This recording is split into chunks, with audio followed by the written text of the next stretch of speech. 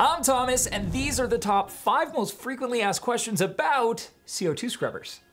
Number one, how effective are CO2 scrubbers?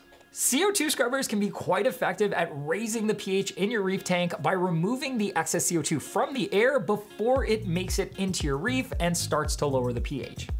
This can often increase the pH in the aquarium by 0.2 to 0.4, which can make a huge difference for those who have a pH that's chronically hovering around 7.8 to 7.9, getting their reef up to that optimal coral calcification zone of 8.2 to 8.3. Many reefers have been using them successfully for years now, and they're becoming more and more popular, leading to more and more dedicated options becoming available from various manufacturers because they do work so well. I've been using one for the last couple of years now with great results, and I do generally recommend them to reefers who have low pH issues. Number two, do I need a CO2 scrubber? Whether or not you need a CO2 scrubber is gonna depend entirely on the trend of the pH in your reef tank and the CO2 level in your home. Ultimately, you always want your pH to be above 8.0 and ideally somewhere between 8.2 and 8.3. Because most homes are well insulated and don't get a lot of fresh air from outside, CO2 has a habit of building up in the air from you and your family and even your land-loving pets just breathing. That excess CO2 in the air will get into your aquarium water and lower the pH.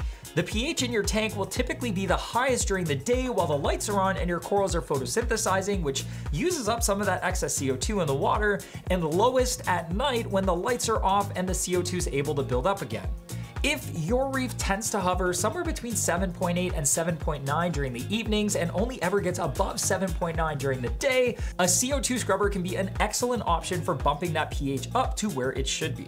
Number three, how does a CO2 scrubber work? By placing a CO2 scrubber in line with your protein skimmer's air intake so that the air has to pass through that CO2 scrubbing media before it enters the skimmer, you can effectively remove a lot of that excess CO2 before it makes it into your tank in the first place, preventing a buildup of excess CO2 in the water that would otherwise cause the pH to drop. The media itself is largely made from calcium hydroxide in a pelleted form, and as the air passes over it, CO2 from the air bonds to it and stops it from passing through to your protein skimmer where it would get mixed into the water. Number four, what is a recirculating CO2 scrubber? A recirculating CO2 scrubber is essentially a way of setting up a CO2 scrubber so that rather than pulling air from the room, it actually pulls air from within the skimmer cup and body. This can help extend the life of the CO2 media since you'll be recirculating that already scrubbed air that should have much less CO2 than the air in the room.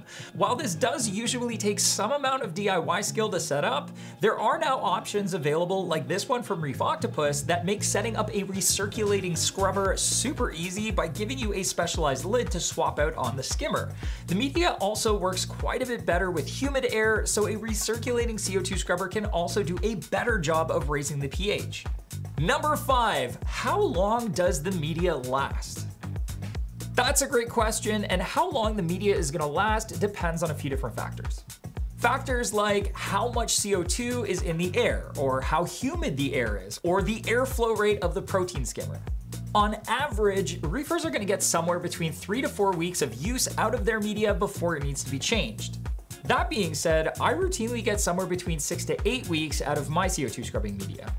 Despite the fact that it's not easy to predict exactly how long it's gonna last for everyone, it is very easy to tell when it needs to be changed because the media actually changes color as it becomes exhausted. When it's new, it's going to be white, and as it absorbs CO2, it changes to a purplish pink color. I usually change mine out just before it's completely pink just to make sure it's always performing consistently. Now with that said, before you set up your first CO2 scrubber, there are some really common mistakes that people make that can ultimately change how effective they are. You can easily avoid them though and make sure you're getting all of the pH pumping power possible by watching this video right here where we show you how to avoid them. Check it out.